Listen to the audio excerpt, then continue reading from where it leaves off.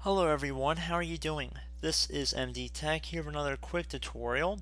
In today's video, I'm going to show you guys how to hopefully resolve if you find that your Google Chrome browser is taking too long to load. So this should be a fairly quick tutorial and right to the point, so we're going to jump right into it. And the first thing I'd recommend doing would be to open up the Google Chrome web browser. And now you want to navigate to the menu icon in the top right corner and left click on it. And now you want to left click on more tools and now you want to left click on extensions.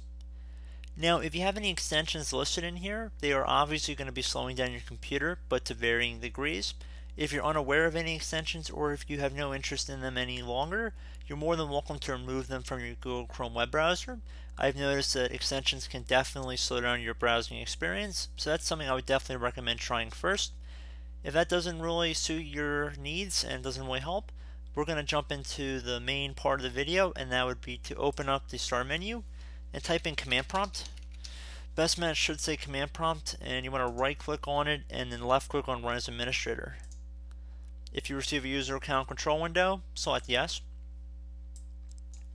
Now you want to type in ipconfig space forward slash flush DNS should not be any space in between the forward slash and the flush DNS. It should all be one word here, or it should appear as one word.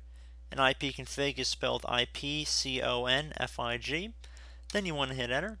It should get back to you saying that it successfully flushed the DNS resolver cache.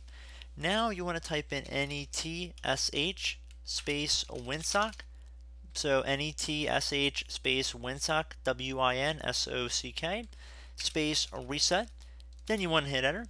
Should say successfully reset the Winsock catalog. You must restore the computer in order to complete the reset. So I recommend you listen to that advice, you restore your computer, and hopefully your issue has been resolved. So as always, thank you guys for watching this brief tutorial. I hope I helped you out, and I look forward to catching you all in the next tutorial. Goodbye.